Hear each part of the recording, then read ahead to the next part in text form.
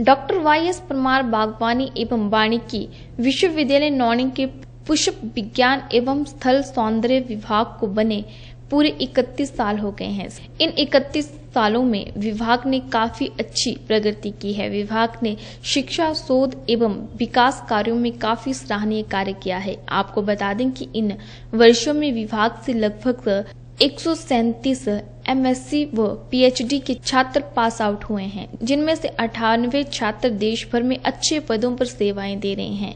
वहीं अगर शोधकर्ताओं की बात करें तो विभाग ने विभिन्न फूलों, लगभग सौ तस्में तैयार की हैं, जिनमें गुलदाउदी, कार्नेशन, मैरीगोल्ड, एंटीडाइनम आदि प्रमुख है। वहीं विभाग के पास जर्म प्लाज्म की भी प्रचुर मात्रा है, जिसे भी किसानों को उपलब्ध करवाते हैं। वहीं विभाग की ड्राई फ्लावर लैब भी देश भर में उभर कर सामने आई है, जिसमें भूमिहीन व कम आजीविका वाले लोगों को सुखाए गए फूलों के विभिन्न सजावटी उत्पाद बनाने का साल भर प्रशिक्षण दिया जाता है, जिसमें वे अपनी आमदनी को बढ़ा सकते हैं। वहीं पुष्प विज्ञान एवं स्थल सौंदर्य विभाग के विभाग अध्यक्ष डॉक्टर वाई सी गुप्ता ने बताया कि विभाग ने पिछले 31 सालों में शिक्षा, शोध एवं विस्तार के विषय क्षेत्र में काफ़ी सराहनीय कार्य किए हैं और आगे भी इसी तरह विभाग किसानों के हितों को देखते हुए अच्छे कार्य करता रहेगा।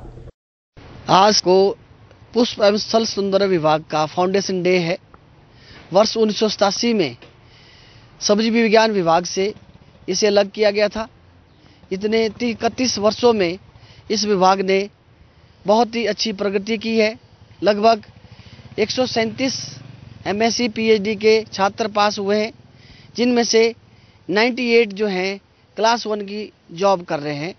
और इसमें हमने अब आज तक लगभग 100 वराइटीज़ जो है, बना रखी हैं, जिसमें कार्नेसन गुलदाउदी ग्लेडिलस मैरीगोल्ड और एंटीराइनम इत्यादि इत्यादि।